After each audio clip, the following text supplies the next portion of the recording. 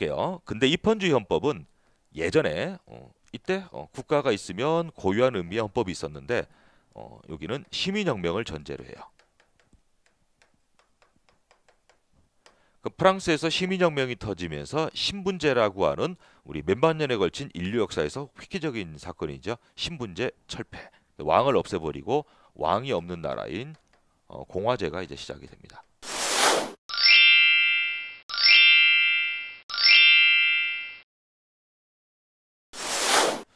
그럼 예전에 있던 이 고유한 의미의 헌법에서의 각 국가별의 헌법은 전부 다 왕이 예, 다스리고 있던 그런 시절이지요.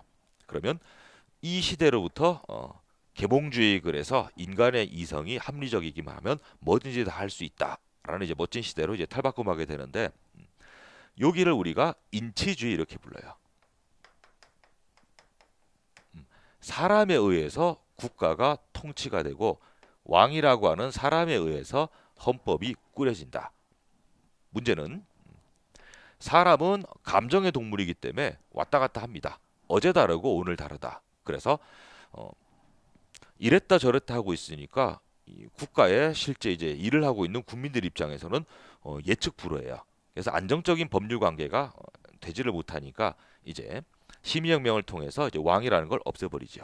그리고 음, 왕이 없는 나라가 공화정이에요. 이때는 왕이라고 하는 사람이 아니고 법이라는 거에 의해서 국가 작용이 통치가 돼야 되겠다. 라는 법치주의 시대가 이제 열리게 됩니다. 법은 고정불변이죠. 딱 정해져 있으면은 누구나 그렇게 당연히 된다라는 어, 법규범이 어, 성립돼 있으니까 이제 국민들 입장에서는 아 법전을 보고 이러한 경우에는 이렇게 되는구나라고 예측할 수 있는 거예요. 음. 그럼 이전에 비해서는 이게 훨씬 좋은 사회인데 하다 보니 또 문제가 생긴 게 그러면 적법한 절차에 의해서 법이라는 걸 만들어 두기만 하면 법의 내용이 어떻든 상관없다. 이런 시절로 가버리게 되니까 어, 문제점이 드러나게 되고 오늘날에는 자, 법의 내용, 내용이 좀 전에 봤듯이 실질이었어요. 그래서 오늘날에는 실질적인 법치주의 시대로 오게 됩니다. 그래서 어, 법의 어, 내용도 굉장히 중시가 돼요.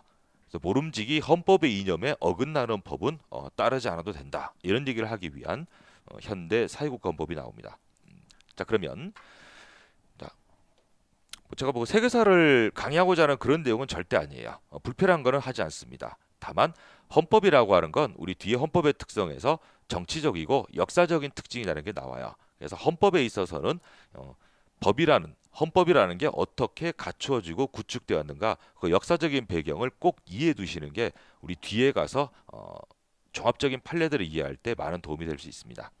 자 그럼 말씀을 드리면 자 시민혁명이 이제 프랑스에서 처음 시작이 되었었죠. 그래서 신분제를 타파합니다. 그래서 왕과 귀족이라는 걸 없애고 모두가 어때요? 음, 평등한 국가로서의 국민 이런 내용을 하고 있는데 사실상으로는 어때요?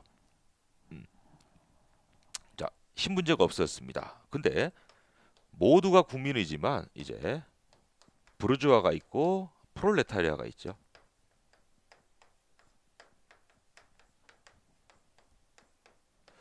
돈이 있고 교양이 있고 지식이 있는 사람이 있고 프롤레타리아 우리 노동자라고 부르죠 농민 생산 계급이 있고 둘 다 왕이 있던 시절에 비하게 되면 왕과 귀족이 아니고 평민들이에요.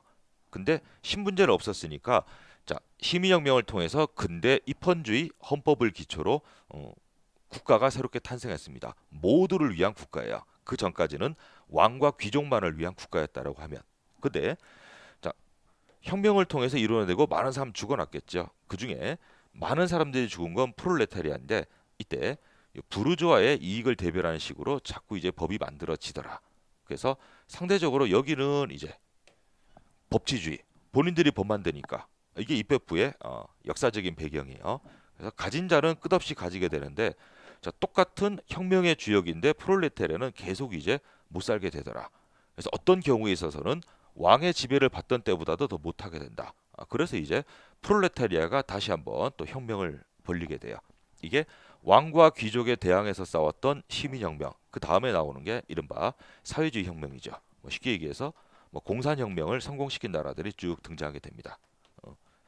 자, 이걸 보고 아하 법이라는 거에 의해서 모든 게 통치된다고 해서 만사가 아니구나. 법의 내용도 어, 부르자뿐만이 아니고 어렵고 힘든 약자들을 배려하는 아름다운 인간의 이념이 들어있는 법이라야 마땅하겠다. 그래서 등장하는 게 에, 사회주의 원리예요. 약자를 배려한다. 복지행정, 어, 근로 어, 그런 내용들이 전부 다 어, 이 시대에 와서 터지게 됩니다. 그럼 이 배경을 보시면서 음, 자 그때 근대 입헌주의 헌법과 사회국가 헌법의 비교 우리 표를 같이 볼게요. 자 그럼 이런 표를 볼 때는 음, 각각 표에 있는 단어를 꼭 외우라 그런 거 절대 아니에요. 외우시는 거 아닙니다. 기본적으로는 어느 정도 이해가 선행되지 않으면 어, 암기가 굉장히 힘들어져요. 그래서 요 역사적인 흐름을 제가 간단하게 말씀드렸으니까 그걸 가지고 어, 투영을 시켜서 쭉 보다가 핵심 단어, 키워드가 되는 것만 정확하게 가지고 계신 음, 절대로 이건 억지로 외우고 그런 내용이 될 수가 없습니다. 자,